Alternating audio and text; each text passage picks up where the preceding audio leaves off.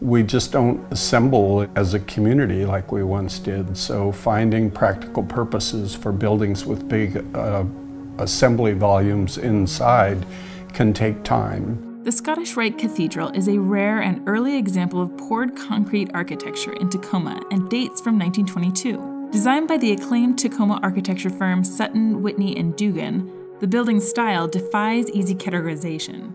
One of the first things you notice about a building is what it looks like and we sometimes pass judgment on the style and if we like it or if we don't like it, but buildings actually have a lot more value um, than just their architectural style. Our buildings and our the design of our communities make each city and place unique. It anchors a prominent corner lot across from Wright Park in Tacoma's historic stadium district and has served as a fraternal hall, an events venue, and a church. The Scottish Rite Cathedral represents a larger issue of concern witnessed in urban areas across the country. The current congregation is unable to maintain the building, and due to the high land value, a prospective developer plans to tear it down in the name of increased density.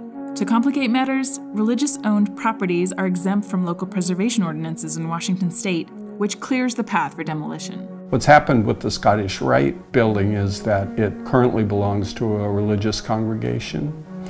And um, the developers, this has happened elsewhere, the developers want the building gone. They approach the congregation about using their status as a religious organization to avoid landmark protections and go ahead and have the building demolished. I would like to see Tacoma really tap into that developer network who are preservation friendly, who recognize the value in the opportunities in, in keeping and using old buildings.